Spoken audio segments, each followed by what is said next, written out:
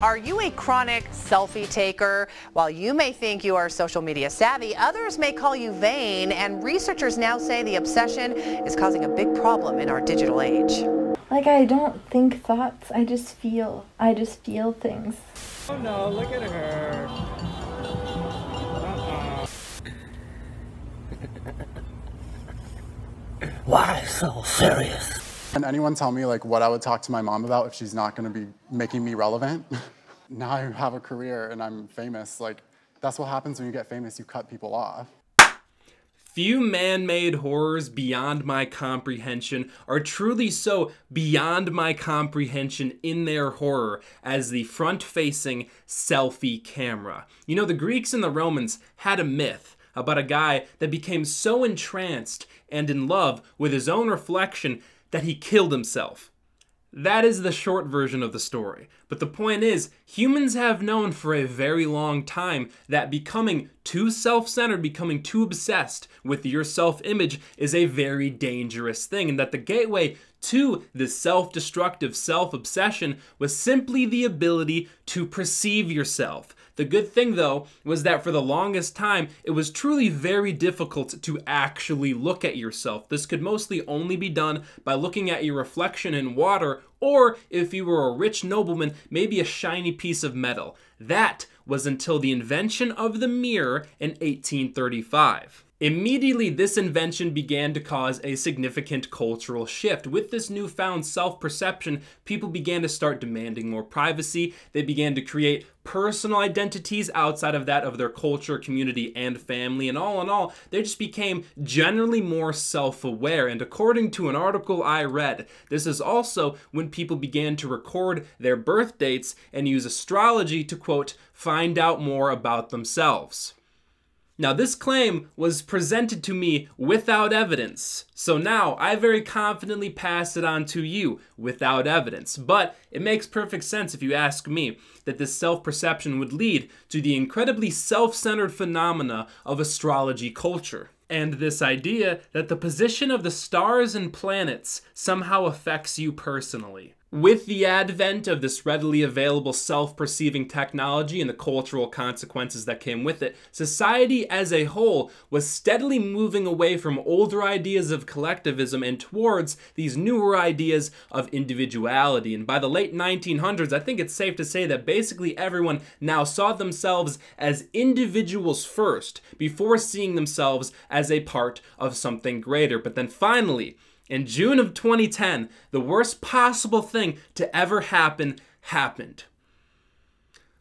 Maybe not the worst, but it's definitely up there. The invention of the front facing selfie camera. If there was truly one invention that could be uninvented that might single handedly save Western civilization from sliding off a cliff, it might be this one. I don't think we realize how the existence of so many things that are now a fundamental part of society exist because of this. The front facing camera was invented of June in 2010. Instagram was invented in October of the same year. Other apps, Snapchat, Vine, TikTok, dating apps like Tinder, all of these things that rely on an individual's ability to easily take a picture or video of themselves exist because of the simple placement of this camera.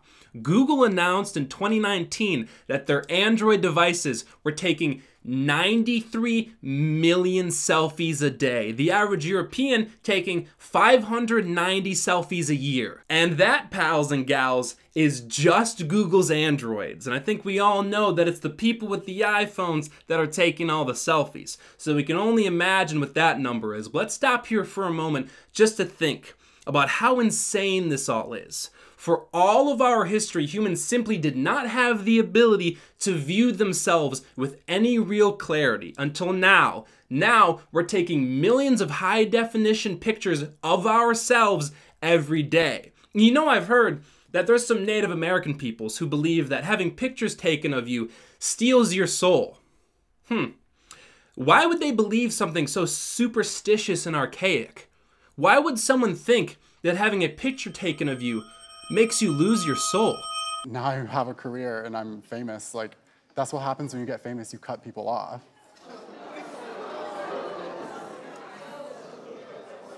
Seriously? Everyone's upset with it, maybe because you guys aren't relevant either, so you don't understand.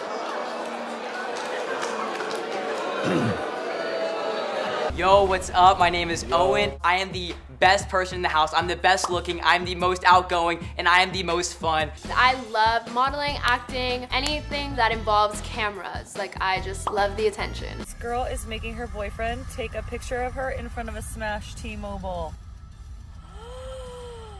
I truly believe that all of the ancient cultures knew everything that was worth knowing, and that now we are just feebly trying to use technology to relearn all of the things that they already knew. A wise tribesman could have told you cameras are evil, they'll take your soul. A Greek philosopher could have told you don't look at your reflection, you're going to die.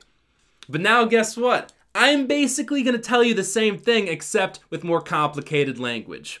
Few things are as capable of hollowing someone out from the inside as the hyperinflated sense of self importance they can derive from the handheld Demon Box and its ability to create a digital world where you always get to be the center of attention. Where everything is always about you. This self absorbed narcissistic condition has been accurately dubbed as main character syndrome, and we can very clearly see that these people who are living their best lives as the main characters of their own stories, yeah, they're not doing so well. We are watching them trade in their lives for internet clout and screen chemicals in real time. We are watching their souls rot away in real time. Now, as far as I see it, we have two different groups of people that are participating in this lifestyle, and these groups aren't necessarily mutually exclusive. We have the people performing their entire lives on social media for all to see, vlogging every single little thing, and let's be real, we all know it's fake.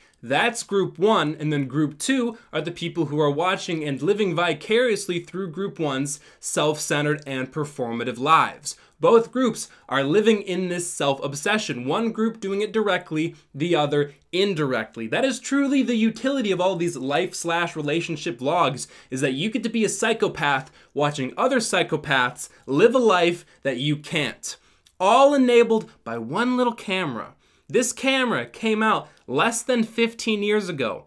Just look at what's happened since. Influencer culture, TikTok drama TV shows, man made horrors inconceivable to the imagination. The rates of depression, anxiety, and self image issues are through the roof, especially for teens. Very simply, the ability to perceive and judge ourselves, as well as project that observation out into the world for the approval or disapproval of others, is driving us insane. We were never meant to be so painfully aware of ourselves. We were never meant to see the inner lives of so many people. We were never meant to be able to insert ourselves into every little thing that has nothing to do with us. Sorry to break it to you, Chief, but your life's not a movie.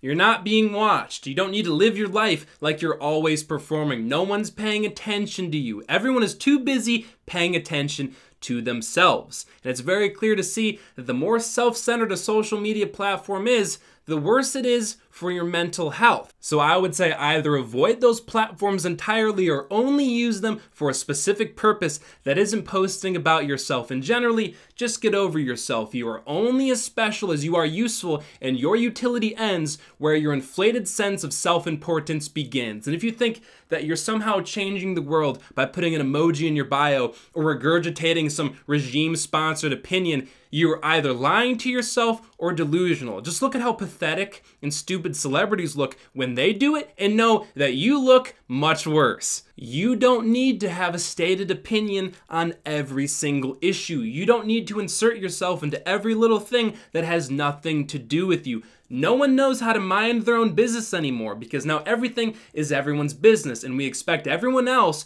to accommodate for our insanity. As a wise man once said, stop it, get some help, and please, please get off your phone. Stop wasting your life on the gram like a sycophant. Well, won't you sacrifice for those likes that leave you feeling empty every time?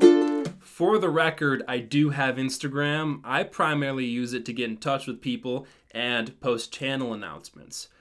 So if you have Instagram, you can follow me there. Otherwise, don't use the platform. If you're not following me, there's literally no other reason to use it.